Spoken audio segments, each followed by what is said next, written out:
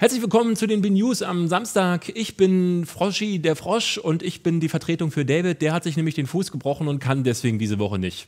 Ah, Applaus, Applaus, Applaus. Könnte voll Puppensprecher werden. Herzlich willkommen, meine Damen und Damen, äh, zu den B-News. Äh, letzte Woche war der Last Man Standing Event und ähm, wie alle da mitbekommen haben dürften, habe ich mir gehörig wehgetan. Ähm, ich zeige das mal ganz kurz in die Kamera. Ich war nämlich gerade beim Arzt und habe hier drunter einen schönen Verband äh, auf beiden Seiten sogar. Bei den Proben ist mir da tatsächlich ein äh, Segway auf den äh, Fuß gefallen, also irgendwie so 100 bis 150 Kilo oder was das wiegt, komplett drauf, weil ich irgendwie wollten ja Segway Lanzenstechen machen. Und äh, ich hab, bin gegen Chris gefahren. Und Chris hat mich hier irgendwie be berührt. Dadurch wurde meine Lanze nach unten gezogen. Und während mein Segway noch nach vorne fuhr, hat mich die Lanze nach hinten rausgedrückt. Und naja, Physik und so. Nichtsdestotrotz war das eine verdammt spaßige Veranstaltung, die ihr euch auf jeden Fall hier nochmal angucken könnt. Ich habe euch äh, ein Video davon gemacht, so einen Vlog, beziehungsweise einen D-Log, wo ihr irgendwie 15 Minuten Behind-the-Scenes-Material sehen könnt. Und auch auf dem äh, YouTube-Channel Last Man Standing heißt das Ding.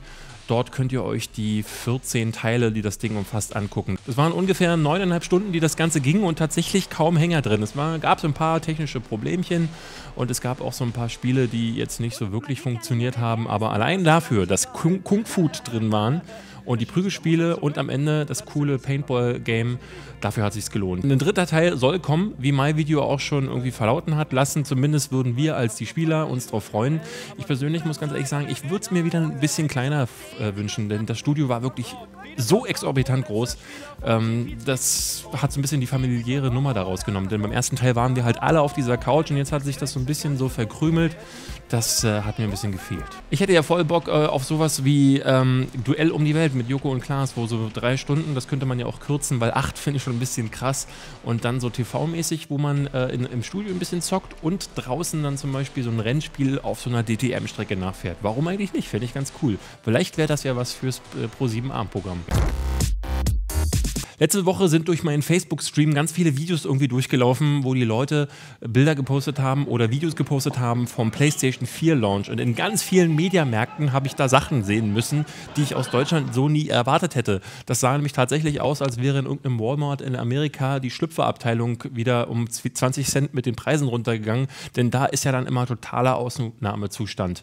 Und jetzt äh, gab es in Amerika den Black Friday. Das ist so der traditionelle Shopping-Tag nach Thanksgiving. Thanksgiving, wo die ganzen Verkäufer und Shopping Malls mit ihren Preisen zum Teil drastisch nach unten gehen. Und deswegen passiert sowas. The mad dash into a Walmart, Walmart store knocked shoppers to the ground near Grand Rapids, Michigan at 5 in the morning, despite several people falling to the ground. Shoppers charged ahead, fixated on doorbuster deals. Unglaubliche Bilder, die sich da zum Teil abzeichnen. Da müssen Wachmänner mit Trillerpfeife rumstehen, um der halb wahnsinnig werdenden Meute Einhalt zu gebieten. Für mich sieht das ein bisschen aus wie äh, World War Z. ganz krasse Scheiße. Warum Leute das machen, wegen einem Toaster, kann man den sich nicht in der normalen Saison kaufen? Der kostet nichts. So, und jetzt wird es mal Zeit für ein Comic-Update. In der Welt der bunten Bildchen passiert gerade besonders viel, beziehungsweise drumherum, denn viele, viele Comic-Sachen werden gerade verfilmt. Unter anderem The Amazing Spider-Man 2, die Fortsetzung dieses Reboots ist gerade der Trailer rausgekommen und der sieht schon verdammt awesome aus. Das sieht technisch ziemlich geil aus und vor allen Dingen hat das so eine düstere Note, die ich bei so Comic-Verfilmungen immer mag. Ich glaube, die versuchen sich gerade so ein bisschen an The Dark Knight anzupassen, äh, wobei Spider-Man ja immer so ein bisschen humoriger war. Was mich stört, sind aber die drei Bösewichter im Trailer. Es gab ja schon in Spider-Man 3 gleich drei Bösewichter, nämlich Venom, den Sandman und den Green Goblin und das waren definitiv zwei Bösewichter zu viel. Und jetzt hast du Rhino, Electro und den Green Goblin. Ich weiß nicht, das könnte schon wieder viel zu viel werden. Denn wie man zum Beispiel im Joker gesehen hat, funktioniert das ja auch hervorragend, wenn man nur einen einzigen Bösewicht hat. Ich persönlich hätte mich ehrlich gesagt auf einen ganz anderen Spider-Man-Bösewicht gefreut. Vielleicht kommt der in einem möglichen dritten Teil, nämlich äh, ihn hier. Mysterio war immer einer der coolsten Bösewichter aus meiner Jugend, wobei ich mir natürlich schon vorstellen kann, dass so ein Bösewicht mit einer riesigen Fischglocke auf dem Kopf jetzt eher lächerlich aussehen würde. Und dann eine Meldung, die wahrscheinlich ganz vielen von euch da draußen eher so kleine Fragezeichen über den Kopf generieren würde wird, aber mich als großem X-Men-Freak hat das total begeistert. Brian Singer hat diese Woche angekündigt, dass nach X-Men First Class 2 Days of Future Past, wo ja jetzt vor kurzem gerade der Trailer rausgekommen ist, noch ein weiterer X-Men-Film in dieser neuen gerebooteten Version kommen wird. Und zwar heißt der X-Men Apocalypse. Sagt euch nichts? Dann habt ihr wahrscheinlich eine der coolsten Comic-Reihen aller Zeiten verpasst. Denn X-Men Age of Apocalypse war Ende der 90er oder so ein absolutes Brett. Das, das ging über ganz, ganz viele X-Men-Hefte und auch diese kleinen Nebenprojekte, die damit zu tun haben, äh, die haben sich dann, dann wochenlang nur darum gedreht. Äh, es ging darum, dass Professor Xavier in einer alternativen Zeitlinie gestorben ist, beziehungsweise getötet wurde und die X-Men dadurch nie unter seiner Obhut firmiert wurden. Und dadurch hat sich irgendwie eine neue Herrschaft ergeben unter dem Mutanten Apocalypse. Und nun werden die nicht so richtigen X-Men von Magneto angeführt, der in so einer dystopischen Zukunft, wo die Sentinels alles zerstört haben, dagegen kämpft, dass die X-Men und die Menschen ausgelöscht werden. Das ist eine verdammt düstere Comicreihe gewesen, die ich für eine der besten halte, die es je gegeben hat. Und das jetzt auf der großen Kinoleinwand? Ja, bitte, da bin ich sofort dabei. 2016 soll das Ding kommen und äh, wahrscheinlich wieder von Brian Singer gedreht werden, der ja auch X-Men 1 und 2 gemacht hat. Ich freue mich drauf. Und die letzte News diese Woche in diesem Bereich äh, hätte ich so gar nicht erwartet, denn äh, Zack Snyder, der ja gerade Superman vs. Batman oder Batman vs. Superman äh, vorbereitet, der hat gesagt, dass er eine Hauptdarstellerin für Wonder Woman gefunden hat. Und zwar diese junge Dame. Die kennt ihr wahrscheinlich aus The Fast and the Furious. Madame heißt Gal Gadot und die wird künftig in den Körper der äh, griechischen Amazonengöttin schlüpfen, die bisher irgendwie noch nie auf die Leinwand gefunden hat. Und da wird schon so ein bisschen ersichtlich, wohin die Macher wollen. Denn die haben ja äh, als Langzeitplan sich gesteckt, dass sie so einen Gegenentwurf zu den Avengers machen wollen. Also die Justice League of America, die vielleicht ein paar von euch kennen. Ein JLA-Movie wird schon seit einer äh, ganzen Zeit geplant und äh, Batman vs. Superman wird so den Grundstein dazu legen. Das heißt, jetzt wird Wonder Woman eingeführt und letzte Woche gab es auch Gerüchte, dass Cyborg darin zu sehen sein wird. Von daher könnte das ein echtes Superhelden-Fanfest werden. Hallo, ich bin's. Lindsay Lohan. Die abstruseste Nachricht der Woche war, Lindsay Lohan verklagt Rockstar. Äh, jetzt werden vielleicht einige denken so, Lindsay Lohan, ist das nicht die, die wir aus so großartigen filmischen Meisterwerken kennen wie...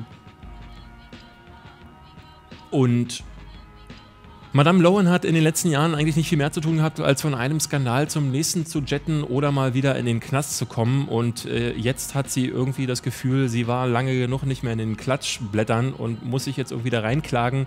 Und zwar findet sie, dass sie in GTA 5 verballhornt wird. Auf dem Cover beziehungsweise auf vielen Postern sah man diese junge Blondine, wo Lindsay Lohan ganz klar sagt, ja, das, das bin ja ich. Ja, das ganz deutlich erkennt man das äh, wie aus dem Gesicht geschnitten. Das muss ich sein. Boom, Klage. Und dann nimmt sie auch noch Anstoß an einigen Missionen im Spiel, denn es gibt so ein paar Nebenmissionen, wo man auf so einen Paparazzo trifft, mit dem man dann äh, so eine gescheiterte Schauspielerin verfolgen muss, die mit gerade dabei war, ihr eigenes Sextape aufzunehmen.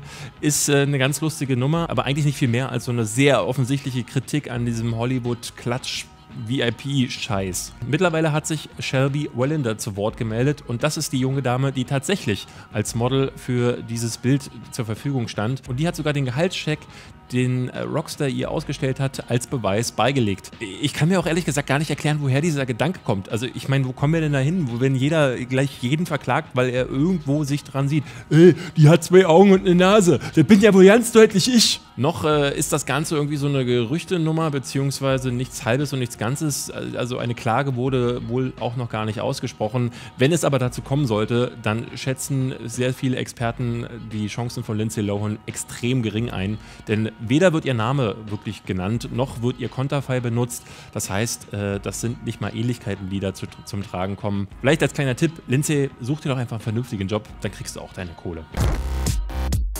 So, und für mehr Gaming-Kram solltet ihr auf jeden Fall am Dienstag in die Game News von High Five reingucken. Die sind letzte Woche gestartet und da werde ich euch dann am Dienstag sagen, was heute Abend in den, bei den VGAs, also den Video Game Awards, bekannt gegeben wird.